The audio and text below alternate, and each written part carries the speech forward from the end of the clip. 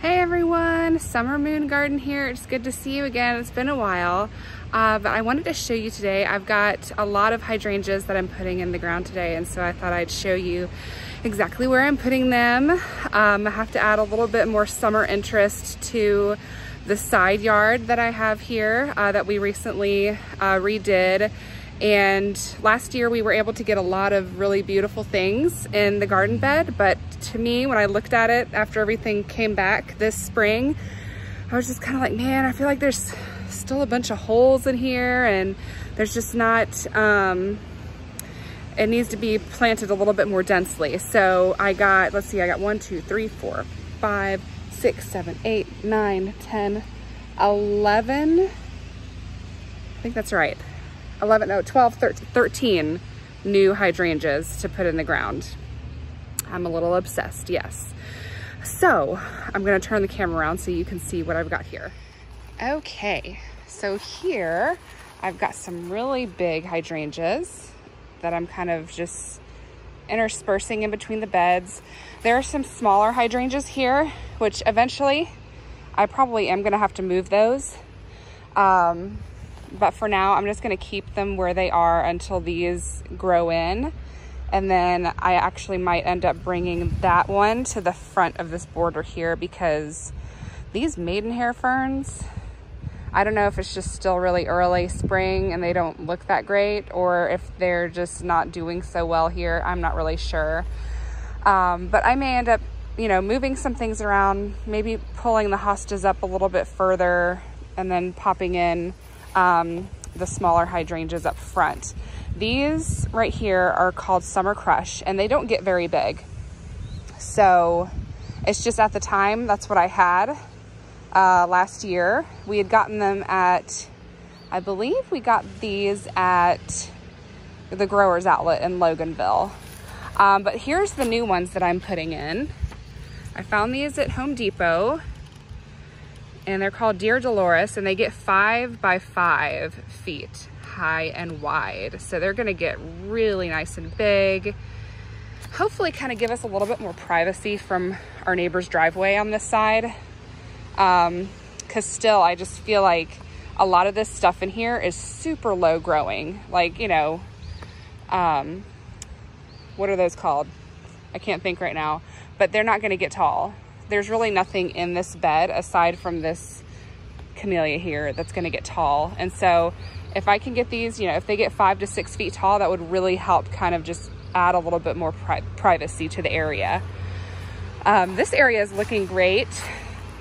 Uh, the lamium here had actually died off. Only one plant survived.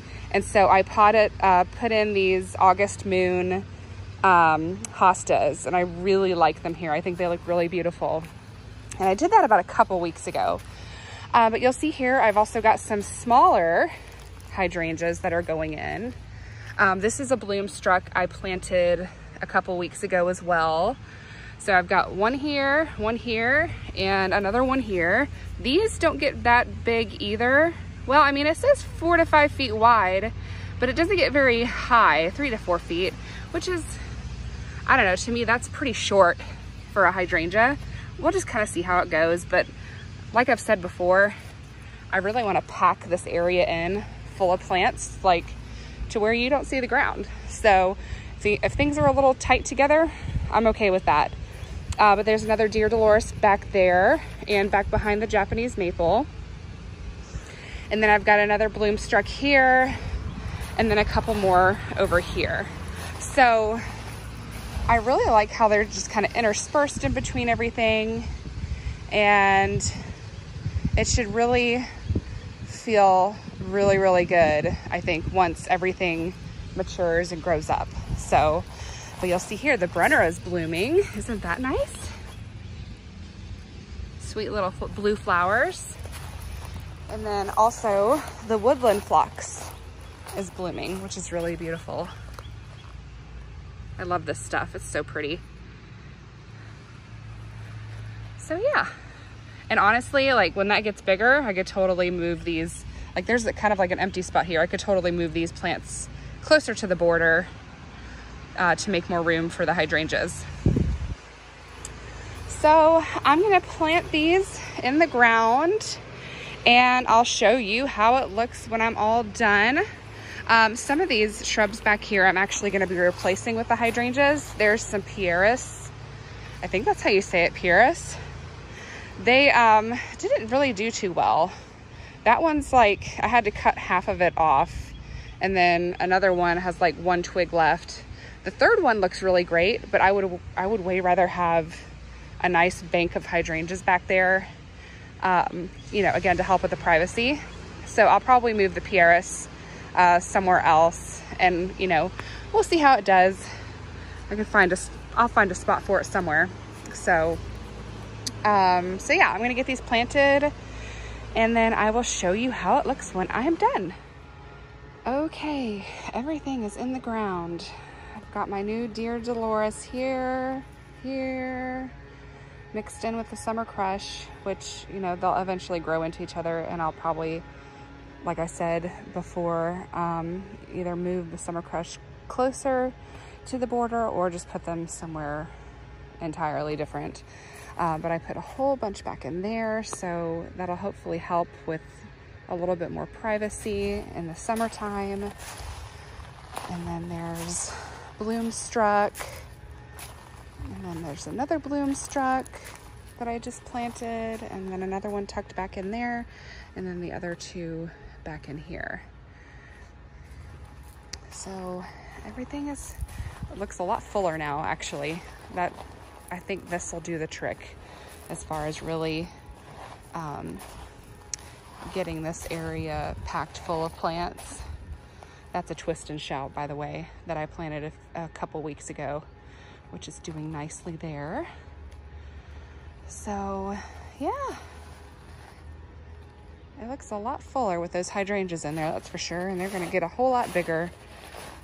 And eventually I'm probably gonna have to um, cut some of these, the Japanese maple branches are hanging pretty low. Probably have to make the canopy a little bit higher on those. Um, but I've got two bloomstruck that are left and I was planning on putting them on each side of this doorway. These shrubs here are gardenias and they're the type of gardenias. I don't know if y'all remember when you're in the grocery store and you'll see like a gardenia in a pot. It's like a florist gardenia and they're really like a zone eight plant and I'm a zone seven and it got really cold this winter and as you can see it did not like it at all. Um, it's still alive. As you can see, there's some new growth.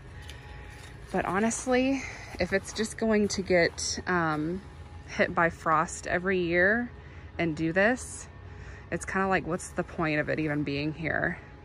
Um, it just looks really ugly right now and it's probably gonna take a long time for it to recover. So I was thinking about digging these out and then putting these um, bloomstruck hydrangeas in its place. So, and they stay a little bit on the smaller side. These things have completely like engulfed the doorway almost. I've had to cut back several times to keep it clear. So I think that these shrubs will just work out better for this area. So that's that. All right, y'all. Thanks for watching. I appreciate it. And uh, my next video will be coming up soon. I need to show you guys how it looks around here. Spring has sprung and there's a lot to show you. So watch out for that video. It should be coming up soon. Hope y'all have a great night. See you later. Bye.